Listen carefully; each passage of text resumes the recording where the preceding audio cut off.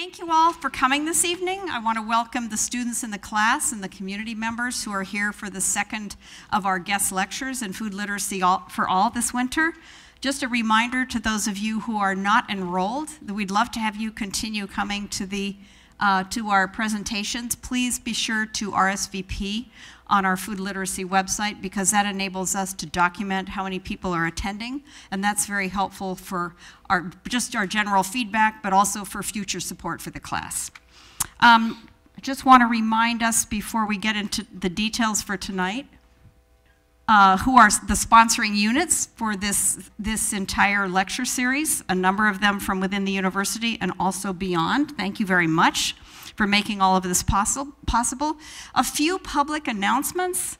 We have a food summit coming up. Um, in uh, next month, Monday, February 19th, the local food summit. It has a website. It's always a really interesting um, event with both, with often with you know luminary guest speakers from afar, as well as a whole bunch of presenters from th this area talking about the various successes and efforts that they have underway. So um, very interesting, and we encourage you to attend. I want to call up Jennifer, who's going to talk about this new, um, this, this forthcoming event organized by students on campus.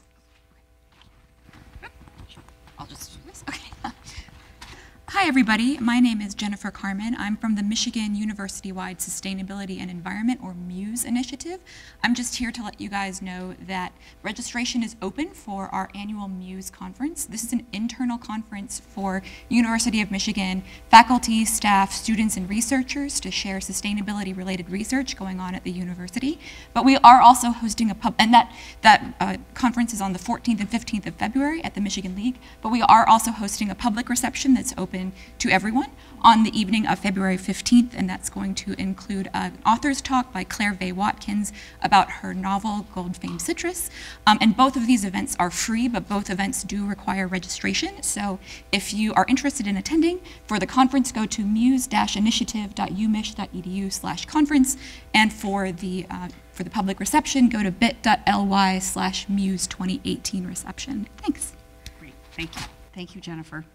And one more public announcement from the Food Recovery Network that is a, um, a student-led organization having a mass meeting, uh, mass meetings uh, Wednesday. The next one will be Wednesday tomorrow at 8 p.m.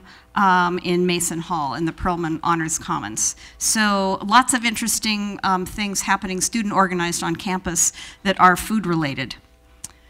Well, I would like to introduce now our um, our, our speaker for tonight, Josh Slotnick, who is coming to us somewhat heroically tonight after missed flights, canceled flights, delayed flights, just literally walked in five minutes ago from the airport.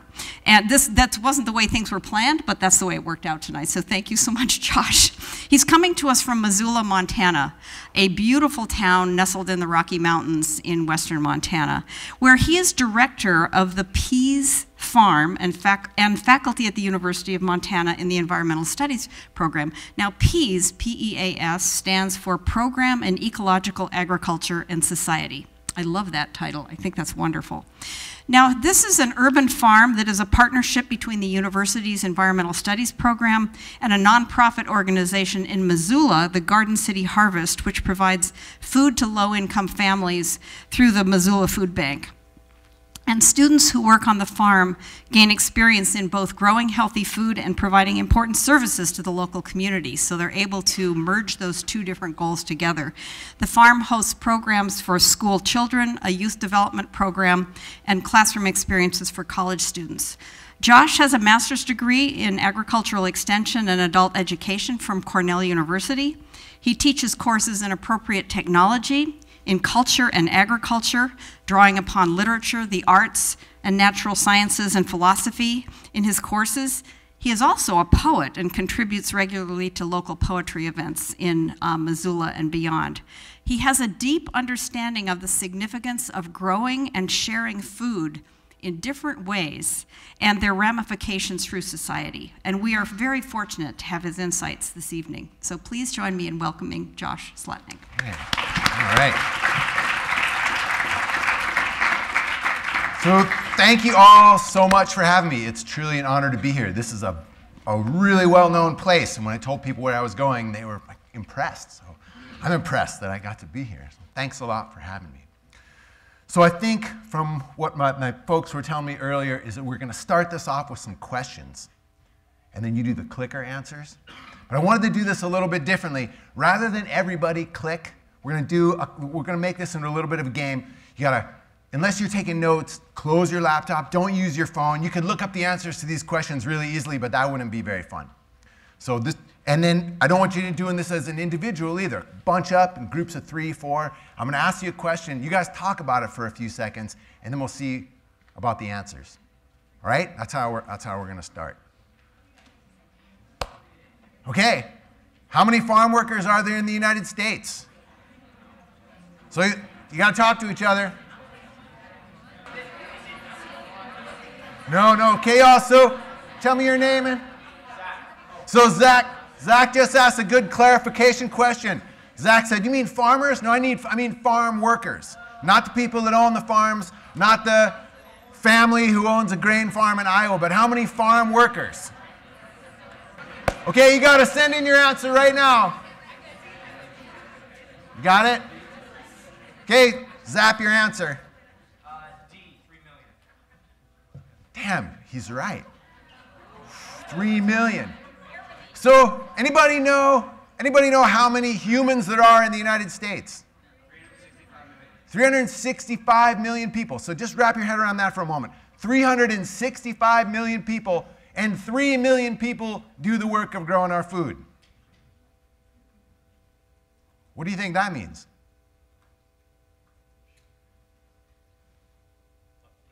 Lots and lots of machines. Lots and lots of machines. Okay, let's do the next one. Okay, of all those farm workers, what percentage of them are foreign born? Okay, go. You just got like 90 seconds. Go, go, go. Okay, you ready for the answer? So, which little pod believes they know the answer? How about you there in the salmon colored shirt? Gosh, everybody's getting it right. Y'all studied ahead of time. 80%. Okay, we have an auxiliary question. Of those 80%, this isn't even on here, of those 80%, how many are here without the legal paperwork? Just take a guess. What does anybody think? You can shout it out. 50%. 50%. That's kind of mind boggling. And there was only 3 million of them you think this is really popular work? Everybody wants to do this? Okay, let's do the next one.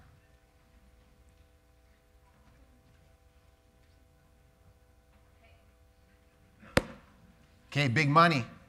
Start talking. You got 90 seconds. Okay, you ready to go? How about you in there in the yellow? Yes, the yellow stands out. Guys, you're getting everything correct. It's incredible. Wow. Yeah, the average wage, average wage is $16,000 a year.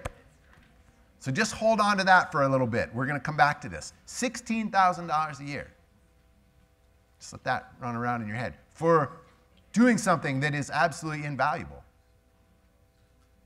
Right? We could have all the sweater dealers in America leave and life would go on right? But these people are absolutely invaluable, and they get paid $16,000 a year.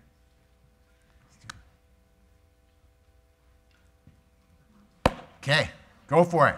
90 seconds.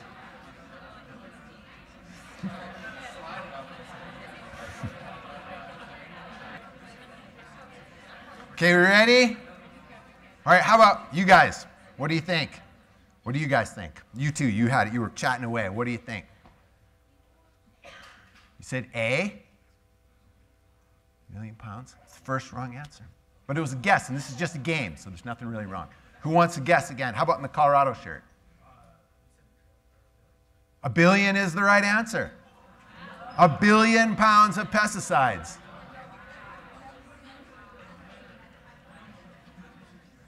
So there's something, something really worthy of note here. On those billion pounds of pesticides, every single ounce in those billion pounds of pesticides are full of carcinogens. It says it on the can. These are cancer causing chemicals. And this crazy thing happened within the last 40, 50, almost 60 years of pesticides in the United States. Anybody know the first pesticide was really famous? Three letters? DDT. Well done. Okay, anybody guess can tell me the answer to this? What was the bad rap on DDT? Like why was DDT such a problem?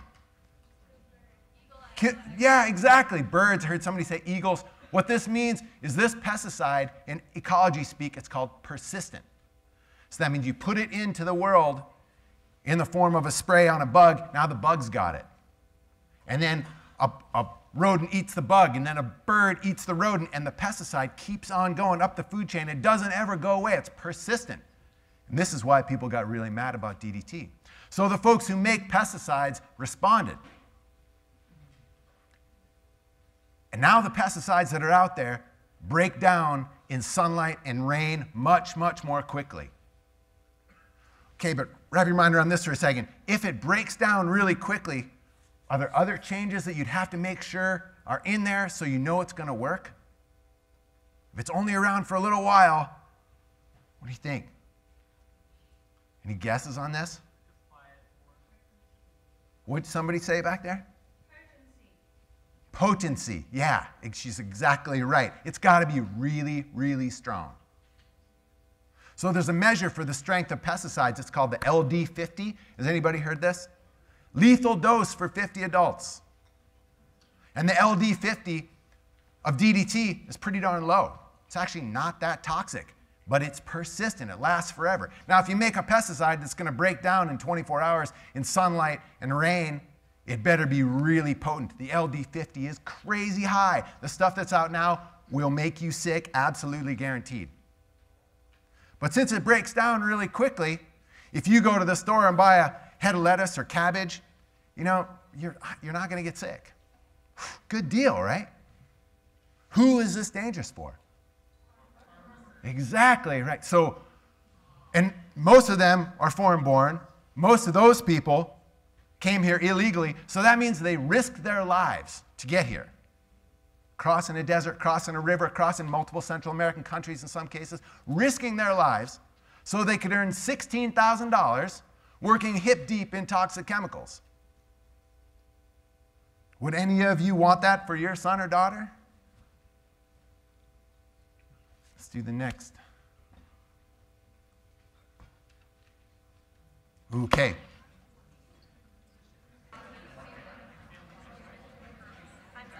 Okay. Who's got this one? How about you, sir? I'm a contemporary. D, 14%. Who wants to give another crack at this? Yeah, you're right. 6.4%. That's how much we spend of our income on food.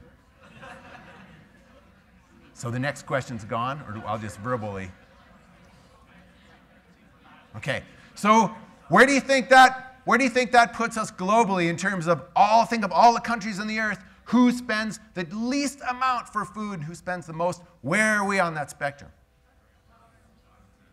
Yeah, we're not just on the low end, we are the lowest. USA, USA, number 1. We spend less money on food than any other set of people on the earth now or ever in the history of humans. The cheapest food possible. We have that. Yeah, so why do, what did you say? Why do we have so many hungry people in humanity? Why do we have such, why do we have such cheap food? One reason, I gave you the answer already. Who's getting exploited here? Those three, three million farm workers working hip deep in pesticides for $16,000 a year. $16,000 a year. You can make, any of you in this room could make more money than that doing anything. So, when we buy this food, we are to a degree complicit. Now, a lot of people don't have any choice. And I think even for people who do have a choice, they just don't know. We're at great distance geographically and intellectually from our food. But I had this thought the other day, imagining kind of a science fiction reality. oh, what's that? It's one of those boutique TV shows out right now. It's like the su- Dark Mirror. Is that it? Black Mirror? Okay. This could be something from that. Imagine you're at the grocery store, and what's the big grocery store chain in, in Detroit? Yeah. None in Detroit. Meijer's, okay, you go into Meijer's and you grab that head of lettuce, and as you're holding it, you could feel in your body everything that the person felt who cut that head of lettuce. So you could feel the stiffness in their back from sleeping in a car, or how they hurt because they've had to pee for four hours but couldn't stop working, or how their heart aches from missing people back where they came from, or what it's like to feel just exploited and treated like crap. You would drop that head of lettuce. Right? You'd be like, I don't want any part of that. But it's cheap food. And we, you hear this argument that cheap food is really important. And I have a, a friend, another farmer, who brought this up once, so I'm, I'm totally stealing his deal, but I liked it so well. Cheap is, this is a great thing, cheap food. Who wants to be thought of as cheap? As without integrity? As easy to come by? As not worth anything? It's a false, false value. So if you add these things up, all these little questions you just went through, talk amongst yourself for a few seconds and see if we can come up with some values. If you were to describe this food system with an adjective, come up with a couple of them. And we only touched on a few facets of the food system. There's some other parts. Oh, you know, I want to tell you one other thing on this before we go to this. One other piece on our food system. It is fabulously successful at meeting its goal, which is pumping out mad amounts of cheap food. If you live in the right place, so basically that means not deep rural America or in the part of a city that doesn't have a grocery store. If you live in other than those places, you can pretty much get anything you want, whenever you want, for barely any money at all. Cheapest in the world. Anything you want, whenever you want, at very little personal disturbance. That's the ethics of a spoiled child. And that is our, our food system.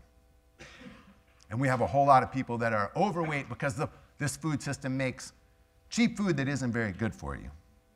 But I'm not going too deep into that. I want you to think about it for a second. Talks with, talk with your, your friends. Come up with some adjectives. How are we going to, what are the values inherent in this food system? Go, go, go. Okay, also, we have one more question. We're going to add this to your answer. So keep thinking about those adjectives. We're going to add this to your answer. When I was going off about how our food system is so fabulously successful at pumping out mad amounts of cheap food, most of that cheap food has had the labor of others added to it. And you can buy it in a can or a box at a convenience store or at a grocery store for next to nothing. But that food will make you sick. Expensive food is fresh vegetables.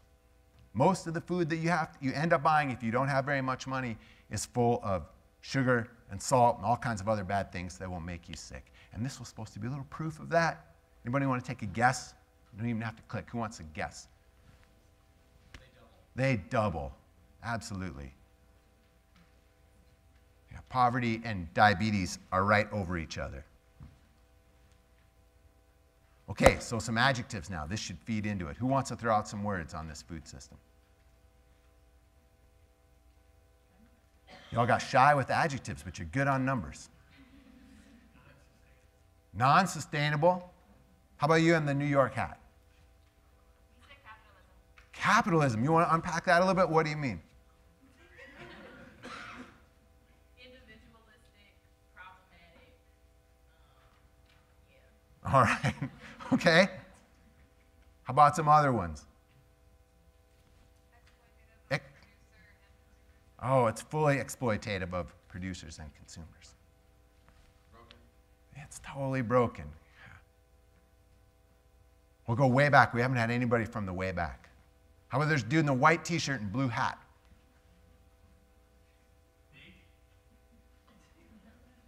What'd you say? Oh, okay. I missed that, but. okay, hand up wherever that hand up is. Oh, the light's blocking you out. Okay. Yeah, please. Impersonal? Impersonal, for sure. It's fully impersonal. So, if you think about these things, we got exploitive, impersonal, individualistic. Doesn't sound very good. And yet, at the same time, I think as individuals, we're not really like this. If any one of you saw someone else with their car stuck by the side of the road or in need of something, you would probably help them out. I wonder how is it that as a society we ended up with a food system that doesn't really look like the values we say we hold as people. And my thesis on this, my belief, this is unproven, it's just what I, what I believe, is that our food system works, it fits, because it matches our culture. And we can say things like, we need to fix this food system. And I kind of feel like we've been working on that for 30 years, and I'm, I'm ready to say, I bet we are about at peak food reform. I don't think we're going to see many more CSAs, many more farmers markets, many more double snaps. All that stuff is great. And I'm just imagining you know what those things are, right? You know what these things are? Or am I just mumbling stuff? You get, I'm good? Okay. I mean, those are great things, but I think we have hit a wall on this. And I think we've hit a wall because our food system matches our culture. If we're going to change our food system, we're going to have to change our culture, which is a much bigger deal. There are values inherent in our culture that are reflected in our food system. And I want to go off on this a little bit. This is why I think it works so well, why our food system works so well matching our culture. So, thinking back about the food system, how people are treated, and you got a little example of that. It's a little bit like the assembly line at a fast food restaurant. Has anybody ever worked in one of those places? You worked in one? Okay, so when you did your time at Qdoba and you were ready to be gone, tell me your name, please. Claire. Were they like, Claire, please, you can't leave. You have these special skills. We'll never replace you. No. And I believe you have special skills, but Qdoba was not making use of them. You were eminently replaceable. And the people who grew the food, those three million people who work hip deep in pesticides, they're eminently replaceable as well. People are not treated like they're special in this situation. And the food that goes through the line at Qdoba is not treated like it's special. It's all eminently replaceable as well. The ethic on how people are treated in this situation, how food and how land, how all these things are treated, it's industrial. That's the key word. And when I say industrial, what I mean is all the emphasis is on production not quality. Not quality of food or the quality of how you treat people or the quality of the product you end up with. It's just about production. And unfortunately, I feel like that is also the ethic of our culture. Okay, here I'm gonna, I, I have to prove that to you now. So, I live in a little bubble. I know it. I live in this little upper middle class bubble of liberal people in a beautiful place and I run into my contemporaries at the grocery store, that beautiful store that you and I went to, and I run into my friend. I'm thinking of a friend specifically, my friend Jim, who works for the Nature Conservancy, does real good work, you know. Like, hey, Jim, how's it going? And he'll tell me a real answer because we're friends. And the answer is the same as I hear from everybody else who are one of my contemporaries when I run into him. What do you want to guess what the answer is? How's it going? What's he saying? It's not good. He's giving me a real answer. What do you think it is? How about you? You Anybody want to take a guess? Swamped. I'm so swamped. I'm tired. Oh, I got so much going on. It'll be fine after the first of the month when I get this report out and oh, I got the kids doing this and I got that. It's going to get better, but I'm just swamped. And everybody I meet answers that question the same way.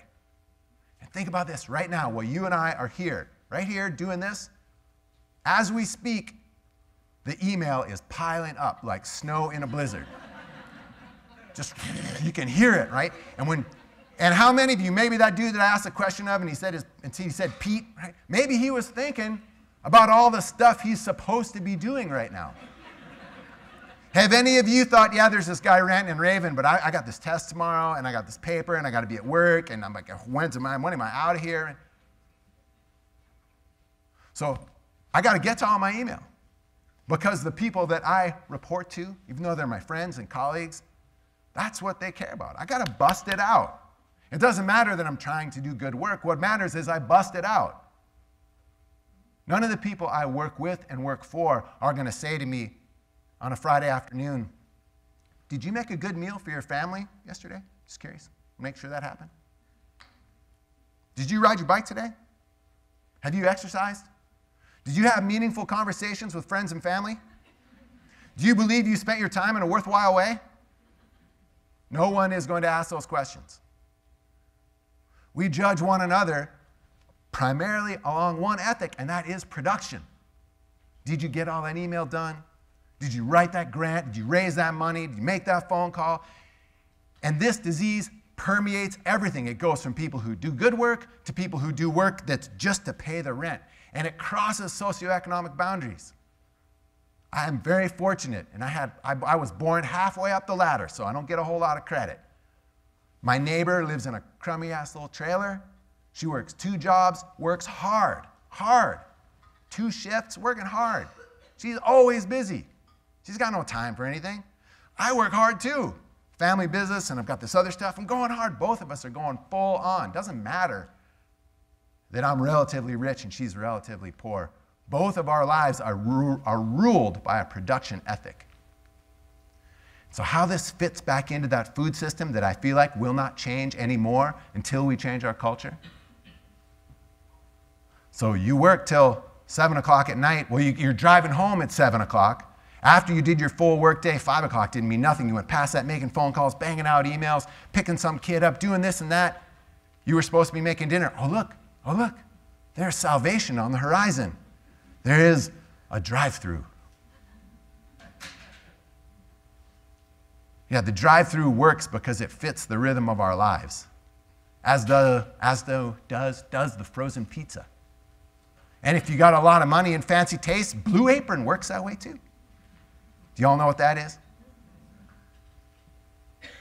It does not fit if you were to tell your professors or your bosses or your colleagues, you know, I got to be out of here by 4:30 because I got to ride my bike home, and then it's going to take me an hour and 20 minutes, an hour and 15 minutes to cook and clean because I got to chop all that broccoli and cut the lettuce and heat up the noodles and do it like you're actually supposed to do it.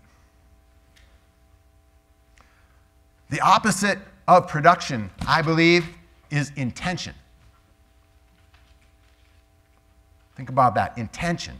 So instead of valuing what you do by how much you get done, the value is on how you do it. How do you live? You make specific choices like, I'm going to make a point of having real conversations with people I care about every day, even people I don't know that well. I'm going to do the best I can to transport myself in the least carbon obnoxious way possible. I'm going to cook real food Cooking real food means you have a sense of the history of that food before you hit it with your knife and cutting board. And if you're not starting with a knife and cutting board, you're not cooking.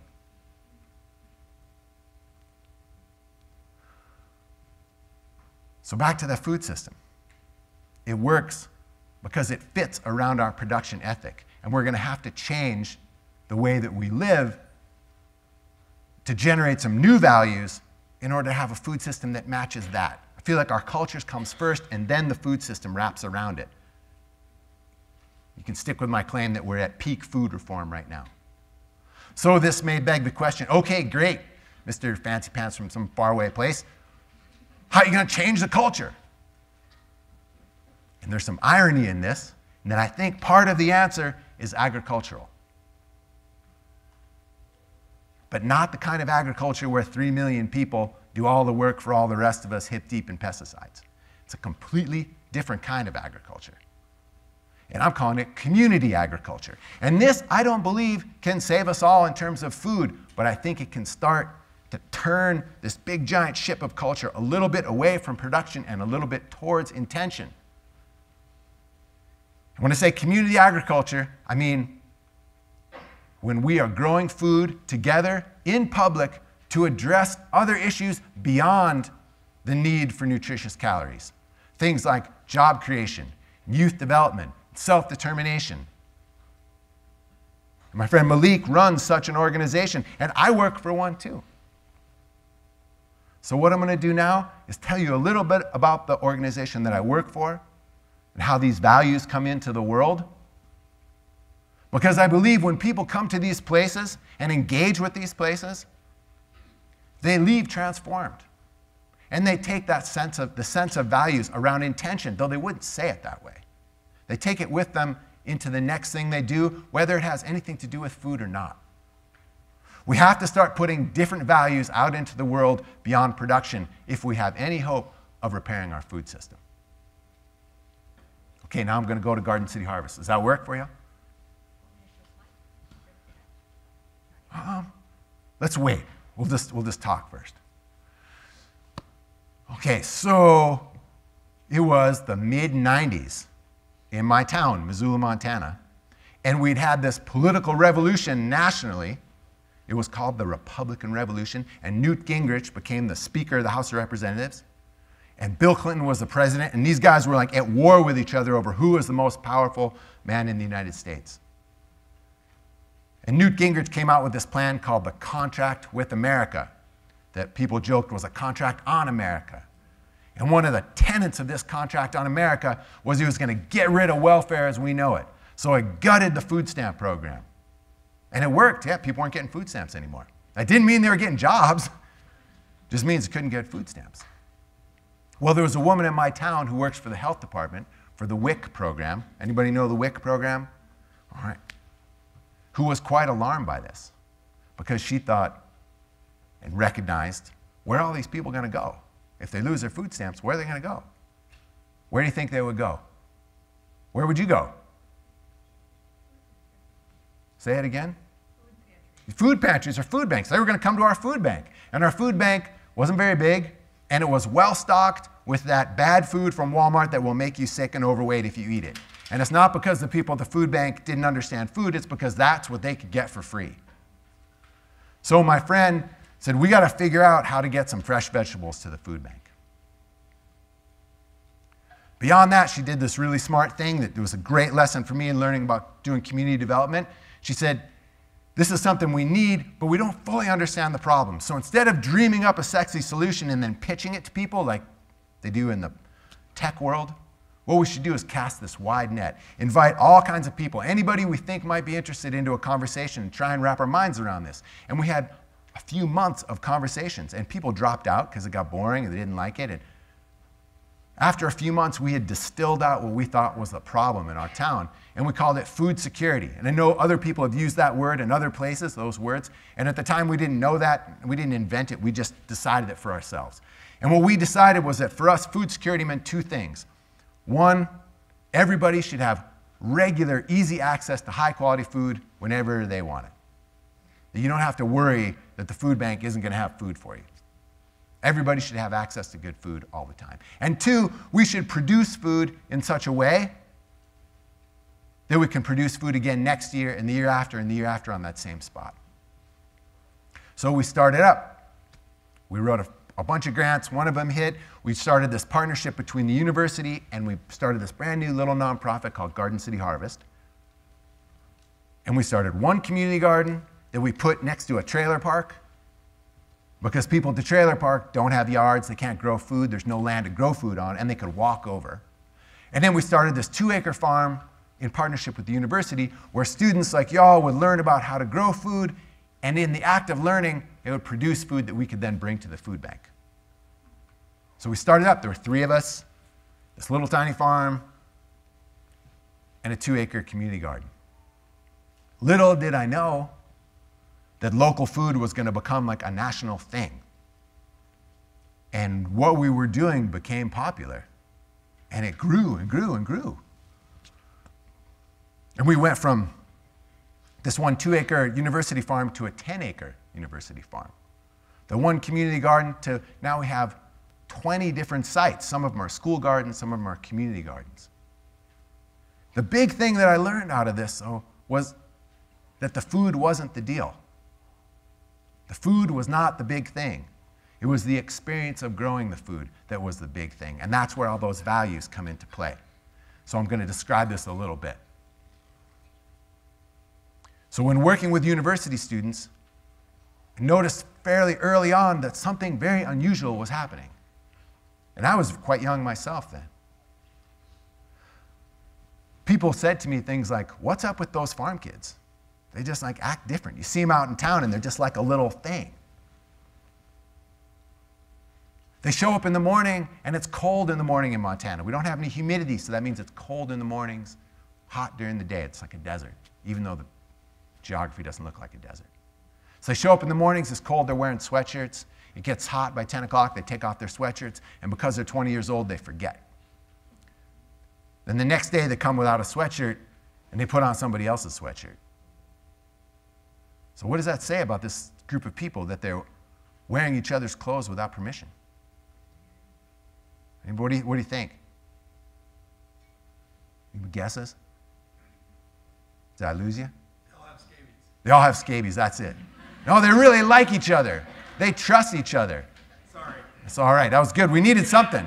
We needed something. Yeah. Has anybody, uh, anybody ever done farm work here with someone else? Christ, you may know about this next little thing I'm going to say then. If you're doing something farmish and kind of tedious, maybe you're shoveling a big pile of manure, maybe you're weeding carrots, and you do this for a couple hours with a person, you're going to learn all kinds of things about them. Right? The work, this work is humble work. It's close to the earth, it brings us close to the earth, and the borders that separate people often erode away because we're right there together weeding carrots or shoveling manure. So you do this for a day and you learn stuff about each other. You do it every day for a bunch of months and you become something way better than just people who know each other. It's kind of magical. So we came up with a recipe to describe this. You take small groups of people, have them do humble labor with tangible, beautiful results, and it equals a transformative experience. The people involved become attached to each other, to the place, and to the activity. And anyone who walks in the gate is welcome to join in. And this works, I've seen this work with teenagers that we work with who come from really, really rough circumstances, and it works with college students who have all the privilege in the world. It pretty much works with everybody. People get attached to each other, to the place, to the activity, and everything they do reflects that. So now they become like this little community. They're going to try really hard to make sure those carrots are well weeded, that the carrots are washed well, that the lettuce is presented beautifully when they're done. Because their work reflects their place in this community that is now part of who they are. Quality has surpassed production. Inclusion has surpassed exclusion and exploitation. They care for each other, they care for the place. What I noticed is how they describe the farm, their words literally change. At the beginning, they say, Where do you want us to put, to put your irrigation pipe? Like it's my irrigation pipe, it's not my pipe. Doesn't take too long, and they say, Shouldn't we be watering our lettuce? Don't we need to fix our fence? The farm becomes theirs in the most real way. That's the transformative experience. That's a set of values that's completely different than let's value everything based on production and squeeze out of these fine people everything we can get and out of the land. It's completely different. So, my belief on this is if we have more organizations like this, like the one Malik works with, the one that I work with, and there's tons of them, this is actually happening, it's growing around the country. More organizations doing community agriculture, we're not going to feed everybody, but we're going to start putting people out there in the world who act a little bit differently. And for some of the kids that we work with, the teenagers that come from the worst of circumstances, they don't go from jail to Yale, but they have a reference point for how life can be when you're part of a high functioning, meaningful community. And that reference point didn't exist before. And when they go to decide on their next thing, they're looking at that as I know how life can be. How does this feel right now? And they didn't have that before. One of the best things we do with teenagers that I'm most proud of is this thing called Mobile Market. So we get teenagers from Missoula Youth Drug Court. And Youth Drug Court is not a courtroom, but it's a program, and they have to work their way through this program. One of the things they can do is come work for us. If they come work with us, they get paid minimum wage. They work side by side with the university students, And the university students are very excited to be there. So excited they paid to be there. And we have a, a smaller group of teenagers than university students. So the university students set a cultural tone and the teenagers kind of rise to it. And twice a week, they do mobile market. That's what I was getting at. Which means they take food they've been harvesting, put it in this big van, drive it off to low income housing for senior citizens. Now, these teenagers I'm talking about have been in trouble. They are regarded by most adults as a problem. They are a problem, they're a hassle. When they show up at these low income housing centers, uh, low income residences for senior citizens, they set up what look like mock farmers markets, a bunch of beautiful food on a table, and then the seniors come out to get the food. Do you think they respond to these teenagers as if they're a problem? No. Older people know what vegetables are. they're really excited to see these vegetables. And we sell everything cheap. Nothing's more than a dollar. It's our food. We can sell it for what we want. And they respond to these teenagers like saviors. And there's kind of a culture, cultural ecology that's going on here.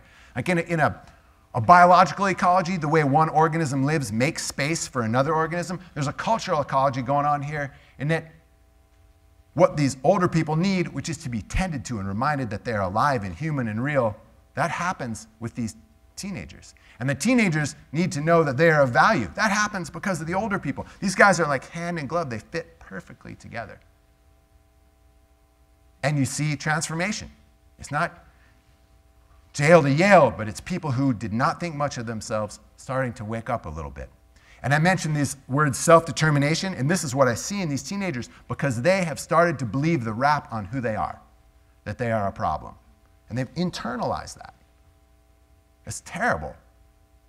But what happens through this work of growing this food, you can see the tangible results of your work. You can see the looks on the people's faces who you're interacting with. They start to believe a different narrative. They start to create that same narr- that narrative for themselves. I am of worth. Look, I can tell. If I wasn't a worthwhile person, I wouldn't have been able to make this stuff, and these people wouldn't be receiving me in this way. It totally works. Now, it doesn't work in all cases. Some people's obstacles are just too big, but it works for an awful lot of them.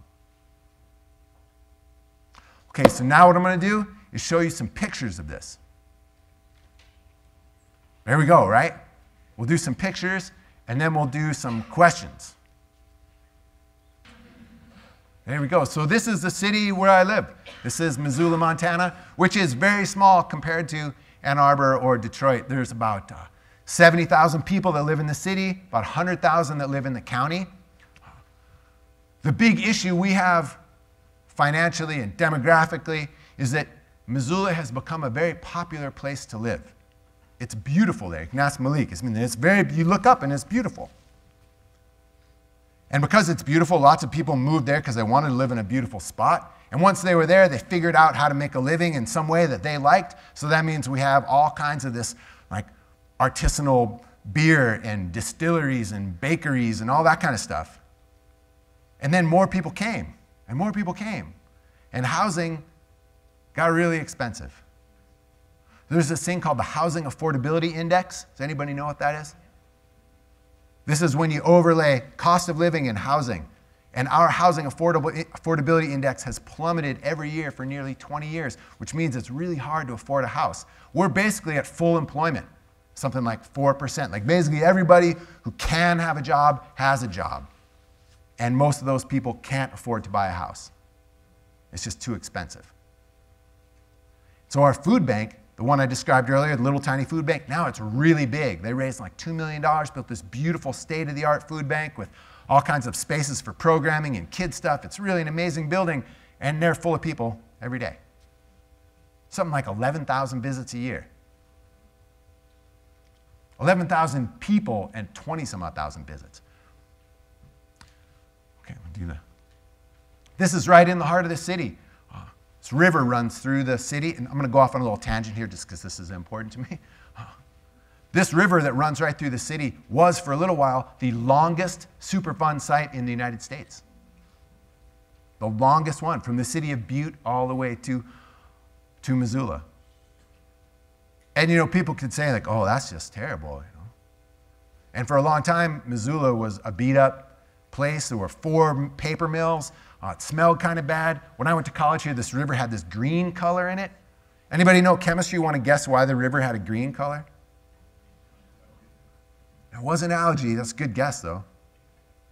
Copper, exactly. The copper mines in Butte. Yeah. Well, millions and millions, I don't know how many tens, maybe hundreds of millions of dollars went into it, cleaned up the river. The, the, the paper mills got shuttered because of weakness in international markets and NAFTA and wood coming from Canada and all kinds of other crazy stuff, and the paper mills went away. The air got clean. The city passed a wood stove ban, so you couldn't put wood, you had to take the wood stoves out of your house. We're near the woods, so when I was a student living in a crummy student rental, having a wood stove was a normal and cheap thing to do. They made all the wood stoves go away, river got cleaned up, the air got cleaned up, and people started moving there. It's kind of mind bending. You think, well, if you lose your big economic base, obviously jobs will go and the economy will plummet. And we were in just the right spot and the stars aligned just the right way where the exact opposite happened. We made it through some accidents into a really nice place and then people started coming. So this is right in the heart of the city and we can walk you can walk over that bridge and you'll see eagles coming down and grabbing fish and people fly fishing and playing in kayaks right there in the heart of the city.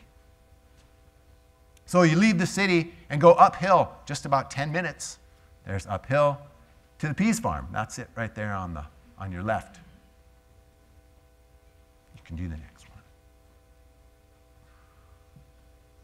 That's our barn. These are students out working in the field, students and teenagers. This is spring. You can see that uh, we've got brassicas bolting.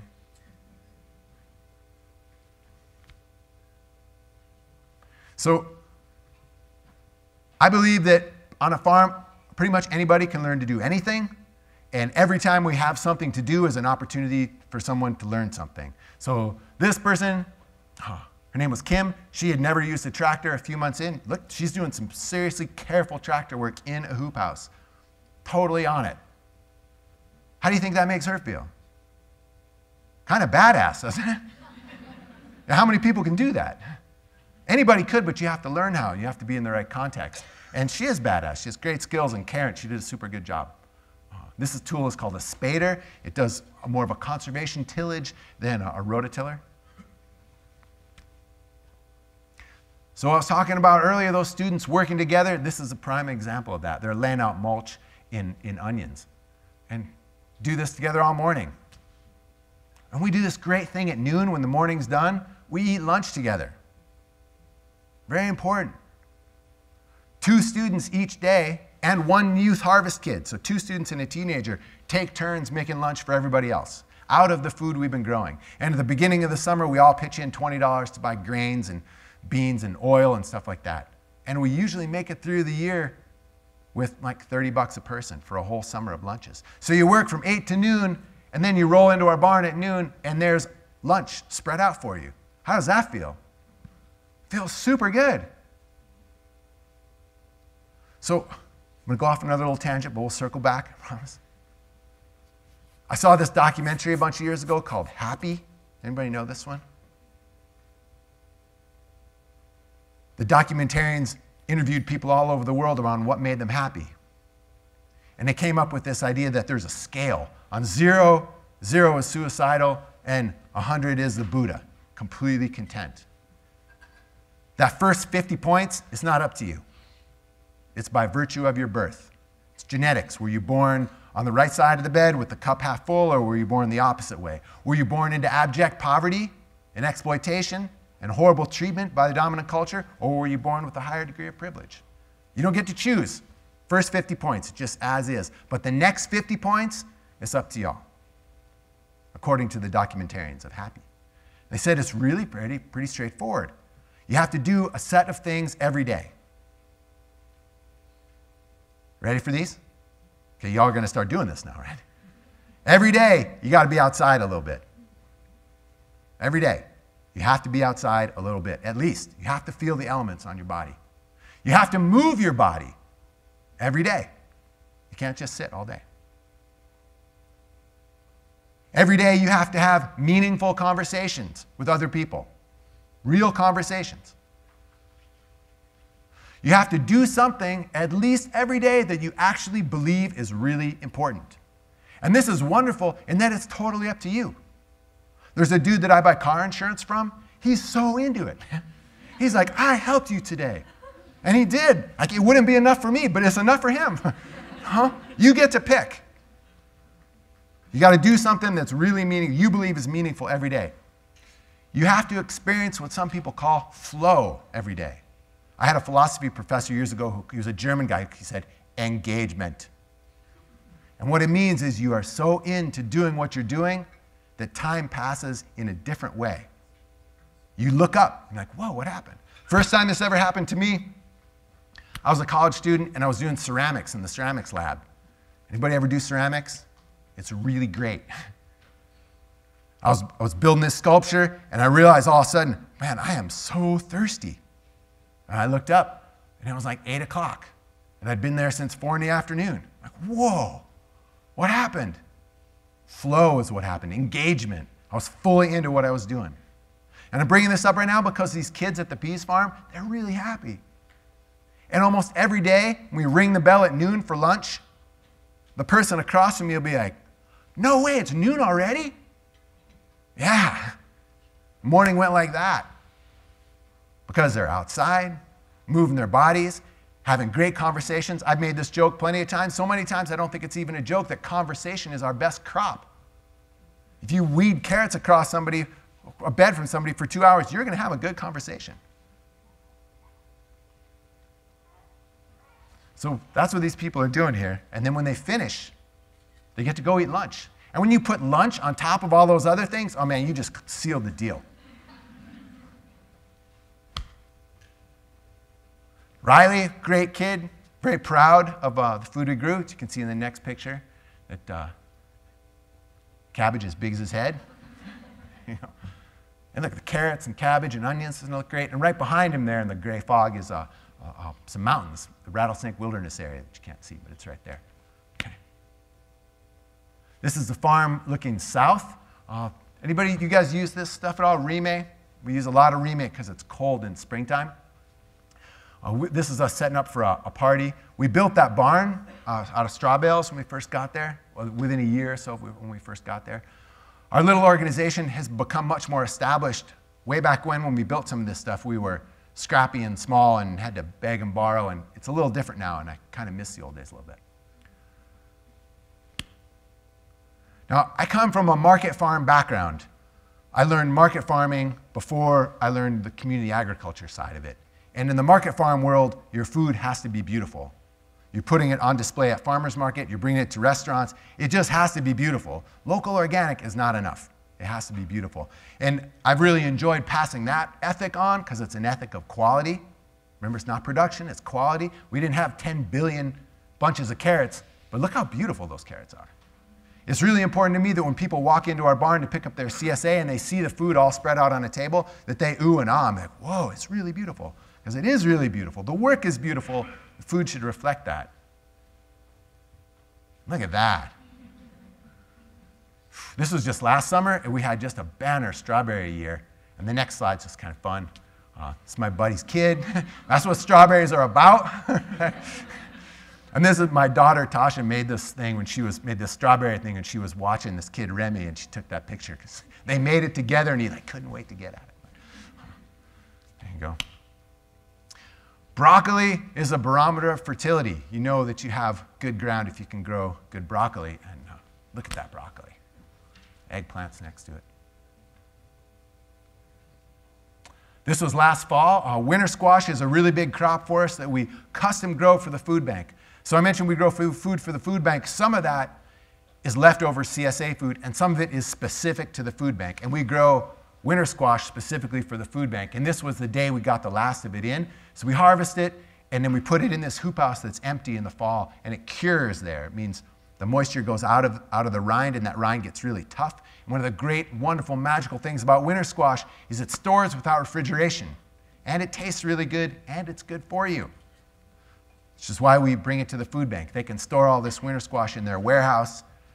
People can eat it three months from then. And it was a great winter squash harvest. Anybody want to guess why we put table legs in buckets? No. Yes, you got it right, sir. Yeah, our, our beloved cat retired. She's still around, but she doesn't do work like she used to. And the mice were climbing up there and eating the squash. So this stopped them from doing that. I put this in there so you know I'm not just making this up. That's me. And there's the beloved cat. Yeah, looking south towards our field. And uh, I think that's it. And I think, did I get it right? We were stopping at 8 and we wanted 15 minutes for questions. So, how about that?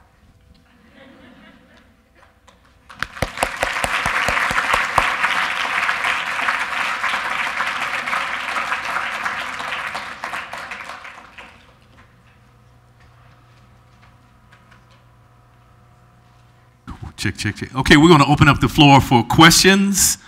Uh, any questions for Josh? And if we're, while we're waiting, while you're formulating your questions, I'll ask the first one.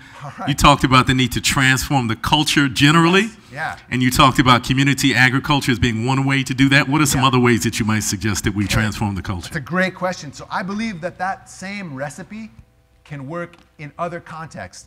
People working together, humble labor with tangible results. So one example nearby us is a, a community bike shop. So you can roll in with your bike, and there's somebody there who'll help you get it fixed. So that sounds fairly simple. Where's the transformation? I don't get the big deal. Well, it's not all about money. And what I think is so important about this great bike shop is the people that are helping you fix your bike, for the most part, were these homeless guys that had nothing going on that wandered into this bike shop about 10 years ago because they had bikes are the only way they could get around. And in exchange for getting a bike, they had to do this training, learn how to help other people, and a core group of these people has remained on. So you go into this bike shop, you're treated with respect no matter who you are. You don't have to have a fancy bike. It doesn't cost any money. The idea is to get you back rolling along. And the people who do the work have experienced the same kind of bonding and value to themselves as the people who are farming. Anytime we're doing things where we can see results, where you're working with somebody, it doesn't have to be that you built a chair, you could have helped a person. Again, it's not about production. In this case, it's about getting people on bicycles, or actually, the people who are getting their bike fixed are doing a turn for the people who are teaching them. They're providing them with the opportunity to do meaningful work. It could be around construction, it could be around teaching, it can be around almost anything where you're making something or providing a service where the goals are quality and integrity and inclusion and care and not that other crap. While you're formulating your questions, Catherine has a question. So, Josh, really fascinating. Thanks for your insights. I'm curious to know whether you've ever had the experience that a, a farmer that was in the industrial system decided to convert his or her farm or their farm to the, the, the, the style that you described in your community farm. So, the closest I can come with that, I have a friend who's a grain farmer uh, up north in very, very rural Montana. He went off to college in uh, UC Davis to study like microbiology or something. He left the farm. He was a sciencey person. He's done with that farm. It was his grandparents' farm. Then his dad, mom and dad ran it, and he left to go be a scientist. Perfectly fine. He gets a call one day from his dad. Says, "Can you? You got to help me. I'm out of ideas, and we can't make our payments, and we're going to lose the place." My friend Bob was really bothered by this, so he went back to the farm and ended up changing things around, not to make a community farm, but to make an organic farm, which is different. And I feel like when I was said we're kind of at peak farm reform, I don't think we're going to see that many more local organic farms until we get this cultural shift. But one thing my friend Bob found out, he looked at his family's books, and I mentioned all those pesticides, and he could figure it out looking at the books how much his parents were spending per acre on chemicals, on herbicides, pesticides, and fertilizers. And it was a lot per acre, something like $400 an acre, and they had like 4,000 acres, which is kind of normal for a grain farm in central Montana. But his dad pointed out, well, that's okay that we have that expense because we get about $400 per acre in federal subsidy. So that covers it. So just wrap your mind around that for a second. So my friend Bob had this big insight. And his insight was my family's not being subsidized. We take that $400 per acre and we pay our chemical bill with it. And that's your all's money. Who's being subsidized here? Was it Bob's family farm? Who was being subsidized? Yeah, the chemical company was being subsidized. So my friend Bob had this realization like, wait a minute, maybe we could stop paying the chemical company. And then he kept digging and he was looking into the prices they were getting, his family was getting for grain. Terrible, terrible. Four companies buy 80% of the grain in the United States. Four companies. And they all share a bunch of people on their boards of directors. They set the price for grain. This is not the free market. This is 35 old white guys going, oh, this year we're going to pay $2.80. Because what are you going to do if you got a silo full of grain? You're just going to suck it up and take the $2.80. So my friend Bob thought, if we could sell this on our own and ditch General Mills and Archer Daniels Midland, we maybe could make more money. And if we didn't spend all that money on chemicals, we could keep more money. And he began a transformation toward an organic farm. So I do know somebody who did that. And this was 25 years ago. And now, and anybody run into a grain called kamut? You ever heard of kamut? He's the father of kamut. yeah. Raise your hands if you have a question to ask. There's one in the middle. Okay, wait till the mic gets to you. We have Mariah right here. So, how do you get more privileged kids involved or people involved if most of your work is for maybe lower income or? So it's a good question. So at the university farm where I work, that's the main labor force are university students who take the farm as a class. So that's why they're there. And then in, that's the student, the student farm.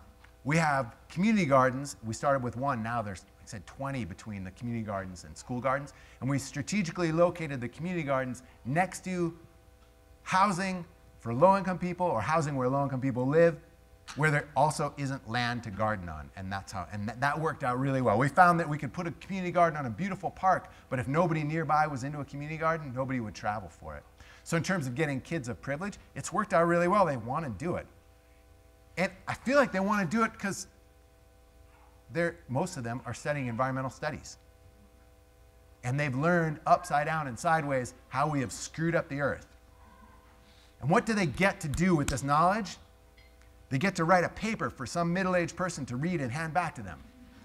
And this is not a very satisfying experience. Growing carrots is. Harvesting tomatoes is. Making compost, you did something. You feel real. You moved your body outside. You could see what you did. So people want to do this work.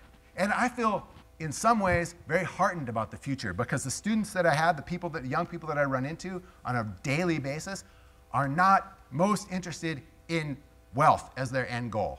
They are most interested in doing meaningful work. And unfortunately, we have a poverty of meaningful work, even as we have poverty of poverty. So getting them to come out to the farm hasn't been a problem. They get credits. It's a class, it's not a club, it's not an extra thing. Environmental Studies 396, they can take it spring, summer, and fall, two credits in spring, two in fall, six in summer. It satisfies upper division requirements. They can get a certificate in community agriculture. So it's like, a, it's like taking Shakespeare chemistry. They, they line up. Um, what do you think this would look like in Detroit? A city like Detroit, that's very different than Missoula. The first thing I would do is ask Malik. That's what I would do. So you should, you should take that, sir. Uh, I'm not going to take that, but there's many people in Detroit who you could ask, and I think I think what he's describing is actually happening in Detroit. There's lots of people doing very similar work in Detroit. Yes. Um, I had a question about, I think you recommended a lot of like downstream approaches, but like from upstream policy level, like what do you recommend there? Oh man, that is a really good question. Did you did you get what, what did you all hear what she said? Was that a no?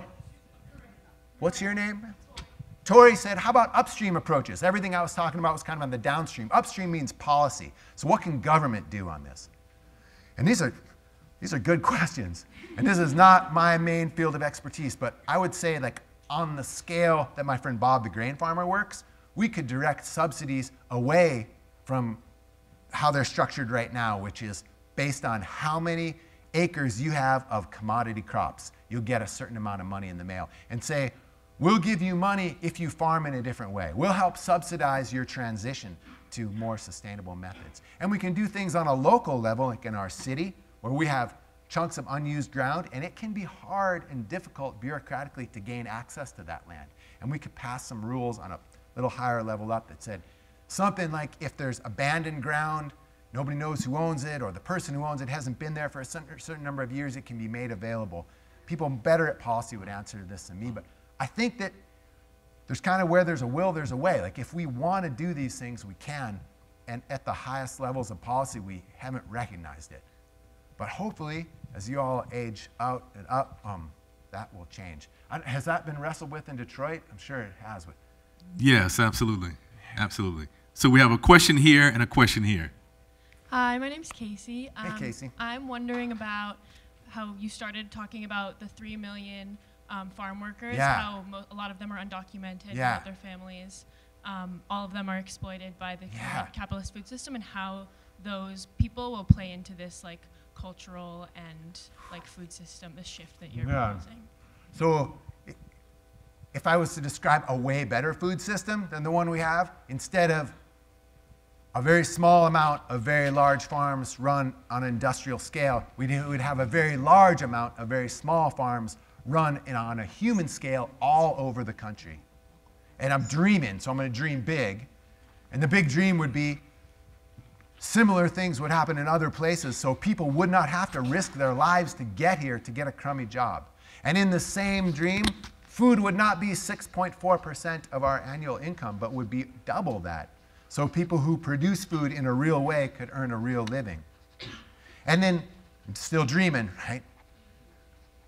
wages generally would go up so that no one wouldn't have enough money to buy good food. So this fall, just through circumstance, I spent a week in Denmark. And when I was in Denmark, our federal government was debating this new tax overhaul. Do you remember this from a couple months ago? Does anybody remember the presiding logic in that tax overhaul? Anybody remember it? What would it be that you're nodding?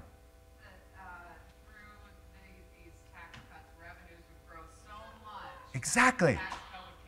Exactly, exactly. So we would cut taxes. And in my mind, taxes are how we collectively work together. We pool our money so we can do things that we can't do individually. So the logic behind that tax cut was cut taxes. People won't have to pay nearly as much taxes, especially rich people. And then they'll take that money and they'll start businesses and it all trickle down.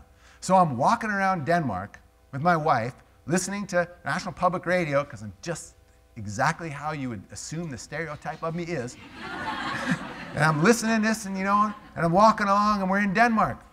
The night before, we had a great chat with this family that's hosting my 21 year old daughter, who's going to school in Denmark for this semester. And they said they paid 60% of their income in taxes. And they weren't super wealthy. It was just like a regular house, a regular place. So I'm walking around looking around Denmark. I'd never been to Denmark before, spent a lot of time in other countries. I'd never been to a place that was more developed than the United States. It was nicer, just straight up nicer. Everything's nicer. Just turn up the notch, everything's nicer. Turn up the dial, right? 60% in taxes. And the place was booming. Like economy happening everywhere. Little stores, little shops, people selling stuff, people coming and going. So many people on bicycles, like a third of the traffic on bicycles. Everything's built to a human scale. It's like some kind of paradise for a liberal, you know? it's like blown away. And that voice in my earbuds is saying, if taxes go up, economy will suffer. I'm like, wait a minute, this place is better. Their economy is better. More shit's happening. And my dollars didn't go very far. It's like when you have dollars and you go to Mexico and you're like, wow, I'm wealthy now. I'll get a second one of those, you know, because your dollar's so strong. I was in Denmark going, I don't know, eight bucks for a cup of tea. I think I might just do without today, because you know? the dollar's weak, because Denmark is better economically. So, in terms of policy, what if we took more money and put it towards public infrastructure? Raised wages, imagining that prosperity is a ladder, and I said I got born pretty far up. What if everybody started pretty far up? Because everybody had health, education, a standard wage, a good place to live. I didn't see any homeless people in Denmark. it just seemed like the logic that was being pushed was upside down and it was right in front of my face, so it was especially stark. Okay, we have 90 seconds for the last question and the answer. Yeah. Yes. Okay. Yeah, thanks for your talk. Um, there are certainly benefits to living in a society like the U.S. that values productivity, Yeah. um, including an abundance of food, the best health care, and the best technology. So, how can we best reconcile uh, the two seemingly contradictory ideas of valuing production and also valuing, valuing, uh, like you mentioned, ethics and inclusion? Yeah, so, so the first thing I'd say is we don't have the best health care. We're like number 29 or something. Not that it's not good, it's good, but it's like number 29. And, and uh, the other part, though, I think doing things in a way that shows you care for people does not mean that you throw out technology. You use the right tools. That tractor tool, that's a really good tool. We're not in there just with pitchforks, but we're doing using those same high quality tools in a way that honors the people who are using them. And it means making space for living a good life kind of slowing down a little bit. I think we could be madly productive, just as productive as we need to be, if we didn't work 50 hours a week. So we should still keep using the good tools and demand of one another that we treat each other well and treat ground well too.